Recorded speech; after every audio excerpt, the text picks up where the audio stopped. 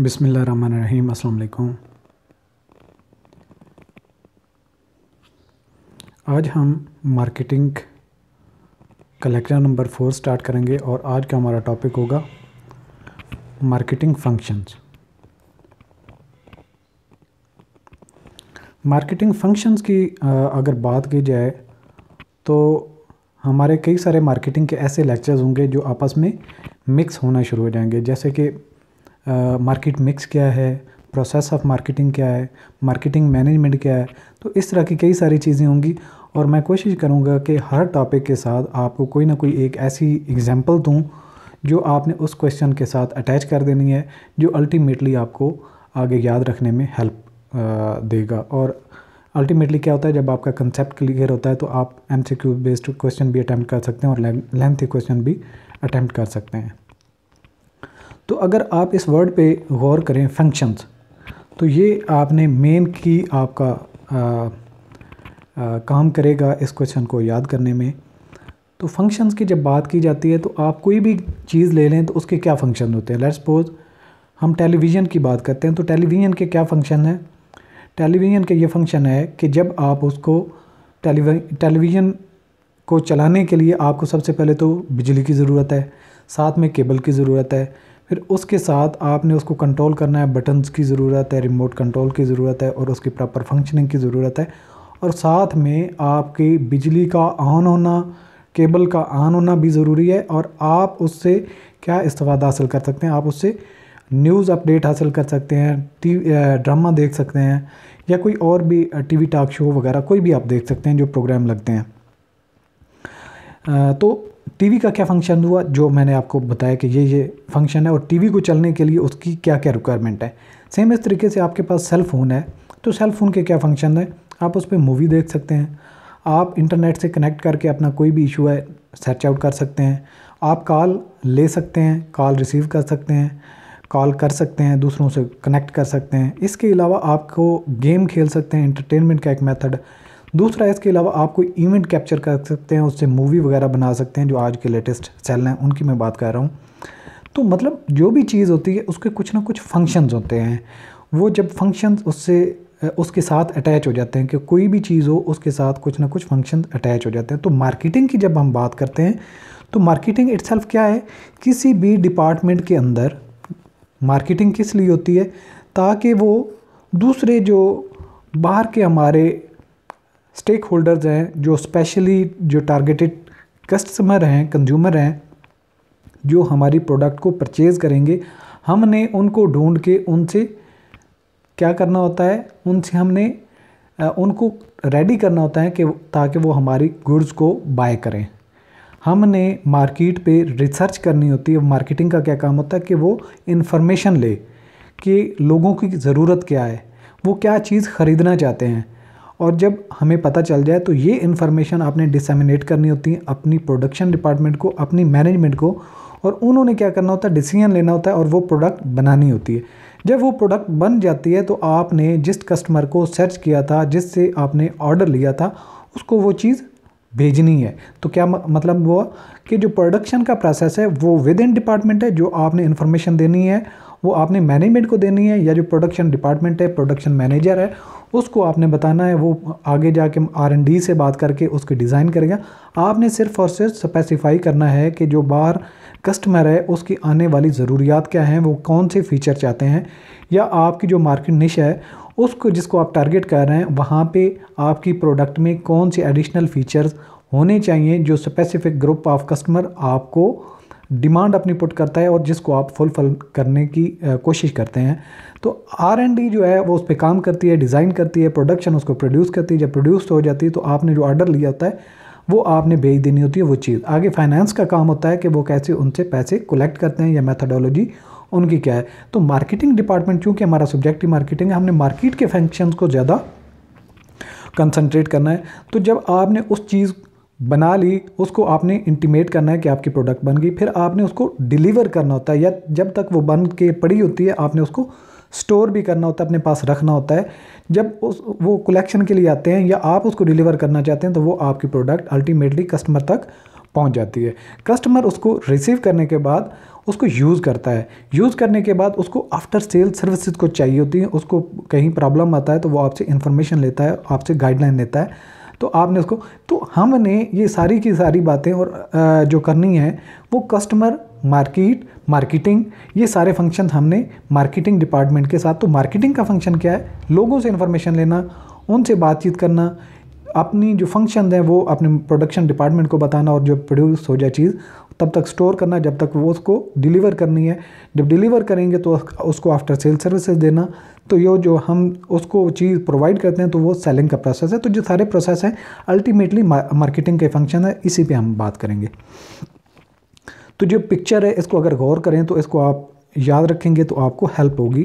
तो सबसे पहले आपके पास इन्फॉर्मेशन होनी चाहिए। यहाँ पे बाइंग से स्टार्ट है, लेकिन मैं इन्फॉर्मेशन से बात करता हूँ कि इन्फॉर्मेशन होगी तो आप चीज़ बनाएँगे और उस चीज़ इन्फॉर्मेशन जब आपके पास होगी कि आप कौन सी प्रोडक्ट बनाना चाहते हैं तो प्रोडक्ट बनाने के लिए जो आपको एडिशनल चीज़ चाहिए, आप सप्लायर से चीज़ें खरीदेंगे। इसका मतलब ये हुआ कि जब आपको इन्फॉर्मेशन आती है कि हमारा कस्टमर हमसे क्या चाहता है तो सबसे पहले आप सप्लायर को एक्सेस करते हैं कि जी, हमारी डिमांड ये हम इस तरह की क्वालिटी की फ़लाँ चीज़ चाहते हैं, हमें प्रोवाइड की जाए। अब वो जब चीज़ बाय करते हैं तो अल्टीमेटली आप उसको फिनिशिंग की शक्ल में लेके आते हैं या उसी शक्ल में आप बेचते हैं तो सेल करते हैं। सेल करने के लिए आपको कस्टमर तक ट्रांसपोर्ट करनी पड़ती है वो चीज़। जब तक ट्रांसपोर्ट या डिलीवरी का टाइम नहीं आता, तब तक आपने वो चीज़ अपने पास रिज़र्व करनी होती है, उसको स्टोर करना होता है। स्टोर करने के बाद फिर आपके पास मुख्तलिफ़ चीज़ों के मुख्तलिफ़ आर्डर आ रहे होते हैं। तो जो आपने जिस कस्टमर से, जिस ग्रेड की, जिस स्टैंडर्ड की प्रोडक्ट का प्रॉमिस किया था या आप जो प्रोडक्ट बना रहे हैं, मुख्तलिफ़ फ़ीचर्स की है, मुख्तलिफ़ साइज़ की है, मुख्तलिफ़ कलर की है तो जिससे, जिसका जो आर्डर होगा आपने उसको उसी के स्टैंडर्ड के मुताबिक ग्रेडिंग करने के बाद वो चीज़ पहुँचानी होती है। इसके अलावा फाइनेंसिंग की ज़रूरत होती है, जो मार्केटिंग डिपार्टमेंट होती है वो जब ट्रैवल करती है, उसको गाड़ी चाहिए, जब वो गाड़ी पे जाते हैं तो उनको उसके एक्सपेंसेस चाहिए, कहीं स्टे करते हैं, उनको खाना वाना चाहिए और जब वो किसी से मिलते हैं, किसी को होस्ट करते हैं तो उनको कुछ ना कुछ एंटरटेनमेंट देनी पड़ती है। तो ये सारी की सारी ज़रूरियात कैसे पूरी कर सकते हैं? वो फाइनेंसिंग से ज़रूरत कर सकते हैं अपनी पूरी। इसके अलावा जो मार्केटिंग डिपार्टमेंट होती है, वो रिस्क भी लेती है। जब वो इन्फॉर्मेशन लोगों से लेती है और अपनी चीज़ें वो मंगवाती है या खुद प्रोड्यूस करते हैं तो उनको एक्सपेक्टेशन होती है कि वन थाउज़ेंड यूनिट्स हमारे सेल होंगे, जब वो वन थाउज़ेंड यूनिट्स परचेज़ करते हैं और उनका टारगेट होता है कि एक हफ़्ते के अंदर, एक महीने के अंदर वो चीज़ें सेल करनी है तो वो एट रिस्क होते हैं। हो सकता है कि एक सौ यूनिट्स बिकें, बाकी सारे के सारे पड़े हों तो रिस्क टेकिंग भी इनकी एक जो होती है, वो फ़ंक्शन होता है मार्केटिंग का। तो हमने सारी बातें की कि इन्फॉर्मेशन होनी चाहिए, फिर आपने सप्लायर से बाइंग करनी होती है सेलिंग करनी होती है ट्रांसपोर्टेशन सॉर्टिंग और ये सारी बातें। तो बाइंग का प्रोसेस मैंने बता दिया कि सप्लायर के साथ होता है कि आपने जो चीज़ आगे मार्केट की थी, जो बेचनी है, वो आप डायरेक्टली ट्रेड के बिज़नेस में है तो बाय करेंगे। अगर आप मैन्युफैक्चरिंग के बिज़नेस में है तो रॉ मटेरियल परचेज़ करेंगे, उसको मैन्युफैक्चरिंग करेंगे, उसके बाद उसको सेल करेंगे। अपने जो कस्टमर जिनको टारगेट किया था, जिनसे आपने प्रॉमिस किया था, या जिन्होंने आपको ऑर्डर प्लेस किया था और डिलीवरी के लिए आपको वो चीज़ कम्युनिकेट करनी पड़ेगी ट्रांसपोर्ट करनी पड़ेगी। तो ये ट्रांसपोर्टिंग का फ़ंक्शन होता है स्टोरिंग जब आप बाय करते हैं या मैनुफैक्चर करते हैं, जब तक आप डिलीवरी का टाइम नहीं आता, आप उसको अपने पास रखते हैं। या कुछ ऐसी भी प्रोडक्शन होती है, जो चीज़ बनाने के बाद टेस्ट एंड ट्रायल होते हैं और उसको कुछ ना कुछ टाइम दिया जाता है कि वो आपके पास वो अपनी असल शक्ल में आ जाए। हो सकता है कि उसको अपनी असल फंक्शनिंग के लिए 24 घंटे 48 घंटे, दो वीक एक महीना अपने पास स्टोर करना पड़े ताकि उसको जब आप डिलीवर करें तो उसकी फंक्शनिंग में कोई प्रॉब्लम ना आए। इसके अलावा स्टैंडर्डाइजिंग एंड ग्रेडिंग जैसे मैंने पहले बताया कि हर कस्टमर का एक अलग से आर्डर होगा। साइज़ के मुताबिक कलर के मुताबिक फ़ंक्शन के मुताबिक। तो आपने वो चीज़ प्रोड्यूस करने के बाद या बाय करने के बाद उसको स्टैंडर्डाइज ग्रेडिंग करेंगे कि ये ग्रेड ए की चीज़ें बी की सी की या कलर वाइज ये रेड है ब्लैक है या फलां है। या ये साइज़ मैक्सिमम जो फुल साइज़ है या मीडियम साइज़ है या स्मॉल साइज़ है तो उस तरीके से आपने ग्रेडिंग करनी होती है स्टैंडर्ड पैटर्न पे जिसका जो ऑर्डर होता है उसको डिलीवर करनी होती है। इसके अलावा मार्केटिंग डिपार्टमेंट को फाइनेंसिंग की ज़रूरत होती है और फाइनेंसिंग का मैटर ओवरऑल भी होता है। जब आप डिलीवरी करते हैं तो वो जब आपको पेमेंट करना चाहता है तो फाइनेंसिंग का मैटर होता है। तो ये फाइनेंसिंग डिपार्टमेंट काम करती है, लेकिन उसको एक्टिवेट कौन करती है? मार्केटिंग डिपार्टमेंट ही करती है।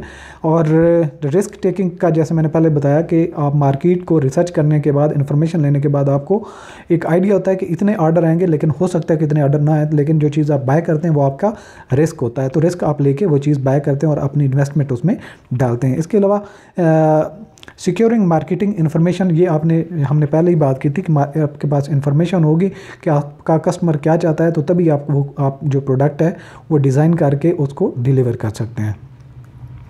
इसके अलावा मार्केटिंग मैनेजमेंट एक मार्केटिंग आप, आपका फ़र्ज़ की डिपार्टमेंट एक है ओवरऑल ऑर्गेनाइजेशन जब होती है तो उसका एक फाइनेंस डिपार्टमेंट है अकाउंट डिपार्टमेंट है मैनेजमेंट है मार्केटिंग है कॉस्ट अकाउंटिंग डिपार्टमेंट है एचआर डिपार्टमेंट है मुख्तलिफ़ सारे उसके डिपार्टमेंट फ़ंक्शन कर रहे होते हैं।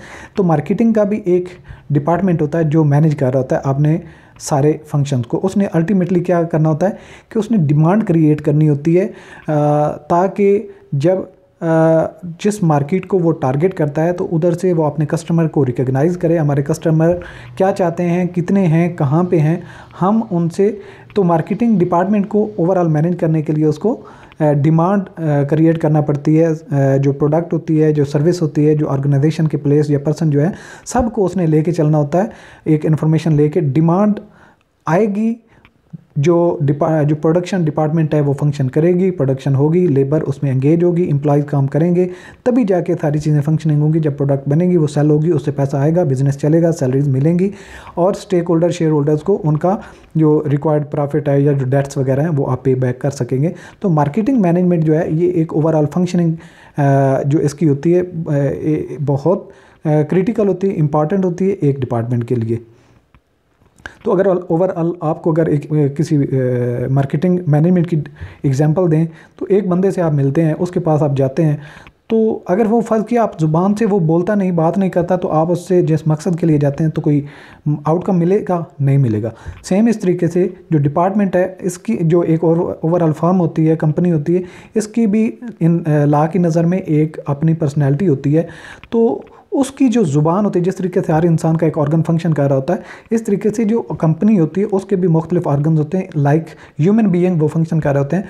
तो मार्केटिंग डिपार्टमेंट आप यही समझें कि जिस तरीके से एक इंसान की ज़ुबान जो इस्तेमाल होती है बात करने के लिए कम्युनिकेट करने के लिए कि आप क्या सोच रहे हैं, क्या बात कहना चाहते हैं तो मार्केटिंग डिपार्टमेंट भी वही फ़ंक्शन कर रही होती है। तो जिस तरीके से इंसान के लिए ज़ुबान की ज़रूरी है, इसी तरीके से कंपनी के लिए मार्केटिंग डिपार्टमेंट और अच्छे तरीके से जब आप बात करेंगे तो अगला अच्छे तरीके से अंडरस्टैंड करेगा। इसी तरीके से अच्छी मार्केटिंग होगी तो मार्केटिंग की जो ओवरऑल फॉर्म है कंपनी है, उसकी परफॉर्मेंस भी उसी तरीके से बेहतर होगी। तो डिमांड जो मैनेजमेंट है डिमांड ही जनरेट करना असल इसका फ़ंक्शन होता है। डिमांड कहाँ से जनरेट हो सकती है? एक तो नए कस्टमर और नई मार्केटिंग रिसर्च के बाद आपके पास आ सकते हैं, जिनको लोगों को आप बताएँ अपने प्रोडक्ट के मतलब और मोटिवेट करें। इसके अलावा जो आपके एग्जिस्टिंग पार्टनर होते हैं, जो होते हैं कस्टमर होते हैं, उनसे भी आप डिमांड जनरेट करते हैं। तो हम ये कह सकते हैं कि मार्केटिंग का असल फ़ंक्शन क्या है? डिमांड जनरेट करना। इसके अलावा बिल्डिंग प्रॉफिटेबल कस्टमर रिलेशनशिप भी ये मार्केटिंग का फ़ंक्शन होता है कि आपने अपने कस्टमर के साथ इस तरीके से रिलेशनशिप क्रिएट करने होते हैं कि वो आपको हमेशा प्रॉफिट दें। लॉस वाले कस्टमर आपको ना हों। आपके लॉयल जो कस्टमर हैं वो आपके आपको ज़्यादा प्रॉफिट देते हैं और जो आपका न्यू कस्टमर होता है, उसको अट्रैक्ट करना मुश्किल होता है। जो आपका ऑलरेडी एक चीज़ इस्तेमाल कर रहा है, आप उसको थोड़ी सी सर्विसेज़ दें वक्ता फ़वक्ता उसको कॉल कर लें और अपनी प्रोडक्ट के मुतालिक पूछें कि वो कैसी परफॉर्मेंस दे रही है। अगर कोई इशू है तो आप हमें बताएँ। तो इस तरीके से आपका जो लिंक होना है कस्टमर के साथ, वो कस्टमर बिल्डिंग एक रिलेशनशिप होता है, जितना कस्टमर ये फील करेगा कि मेरी जो कंपनी है, जिसको मैंने पैसा दिया और मैंने प्रोडक्ट ली, वो मुझे ऑन कर रही है, मेरा ख्याल रखती है। तो इससे कस्टमर लॉयल्टी कस्टमर रिटेंशन और कस्टमर रिलेशनशिप क्रिएट होते हैं और आपकी आने वाले वक्त में नई प्रोडक्ट्स इतनी ही इजीली सेल होती हैं। और जितना ब्रांड आपका दूसरे लोगों के पास होगा, उतना ही वो लोग उसको फेमिलराइज करेंगे इनडायरेक्टली वो आपकी मार्केटिंग होती है। तो मार्केटिंग के फ़ंक्शन इतनी ही बातें थी। उम्मीद करता हूँ कि आपको समझ आ गए होंगे। और मुझे इजाज़त दीजिए। अल्लाह हाफिज़।